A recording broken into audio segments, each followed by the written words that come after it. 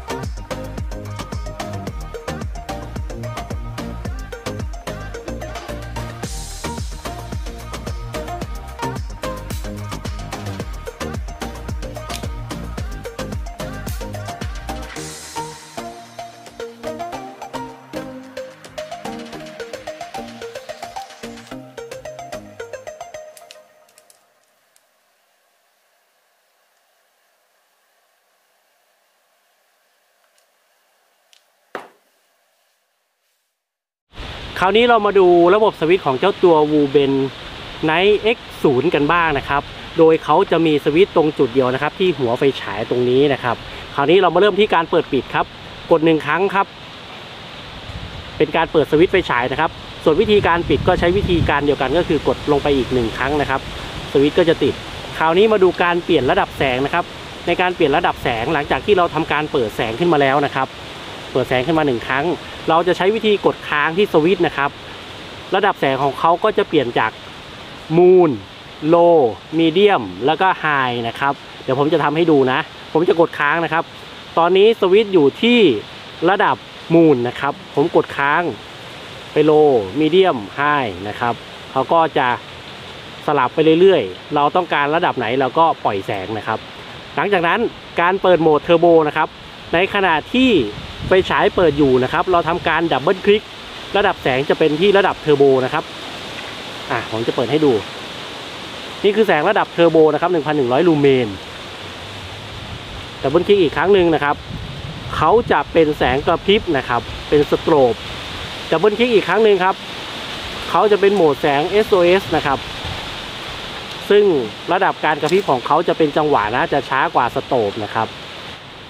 ในอีกโหมดหนึ่งนะครับของไฟฉายกรณีที่ไฟฉายปิดอยู่ ถ้าเรา double click นะครับเขาจะเป็น strobe แล้วก็ double click อีกครั้งหนึ่งจะเป็น SOS นะครับในขณะที่ไฟฉายปิดนะ ซึ่งเขาจะวนไปเรื่อยๆ 2 2โหมดนะครับผมจะเปิดให้ดูนะ นี่คือไฟฉายปิดนะครับ double click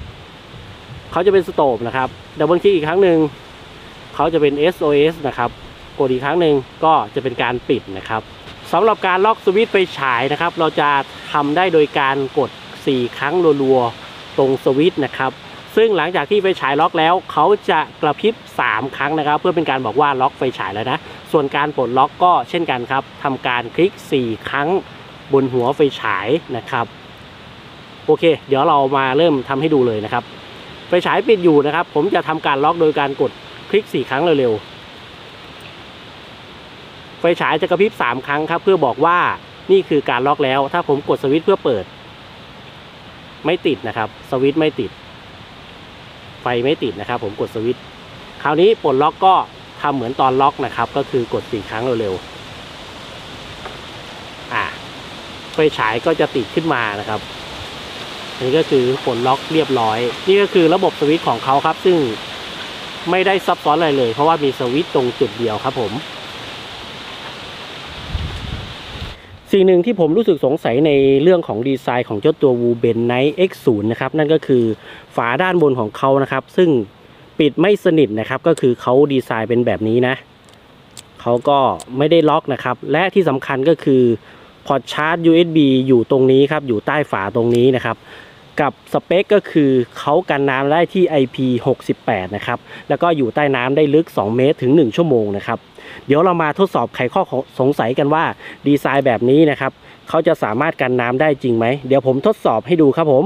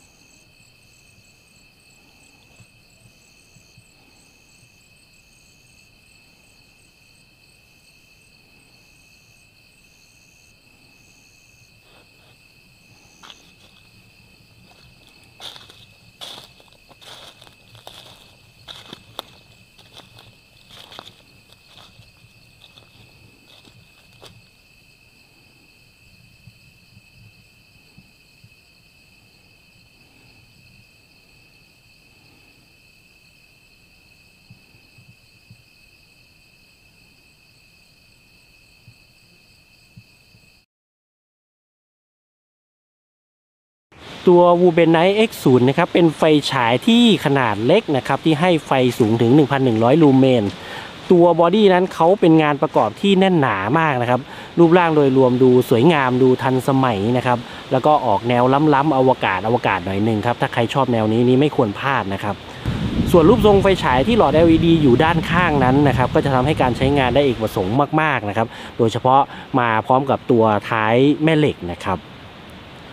องศาแสงของเขานั้นทำได้ที่ 175 องศานะครับก็เกือบจะเป็นเส้นตรงเลยนะสำหรับมุมกว้างนะครับ